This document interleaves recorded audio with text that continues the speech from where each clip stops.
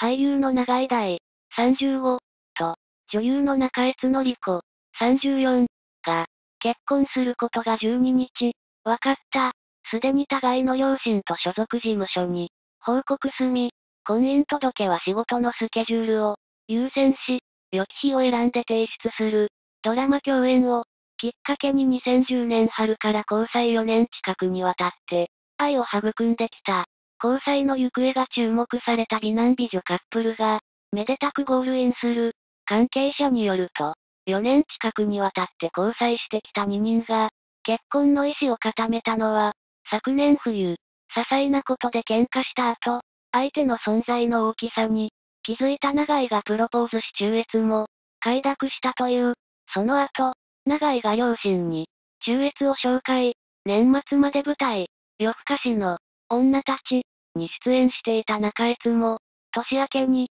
両親に結婚することを、報告した。それぞれの所属事務所にも、報告を済ませている。二人はすでに都内のマンションで、半同棲生活をスタート。長井は NHK 大河ドラマ、軍師官兵へ、に、出演中。中越も出演舞台が、決まっているなど、互いに多忙な日々を送っている。結婚の日取りは仕事のスケジュールを、優先し合いながら決めるという、出会いは10年1、3月に、放送された連続ドラマ、サラリーマン金太郎に、テレビ朝日での共演、食事などで、交流を重ね、同年春頃から本格的な交際に、発展、交際が報じられた後には、長井が自身のブログで、恋愛をして男を磨き、仕事の活力にしたいと、思う気持ちもあります、と宣言。中越も出演舞台の記者会見で、長井が見に来てくれると嬉しいです、などと発言、オープンな交際を続けてきた。今月19日には、長井が旅行会社主催の PR イベントに登場予定。この場で結婚宣言が飛び出すのか、注目が。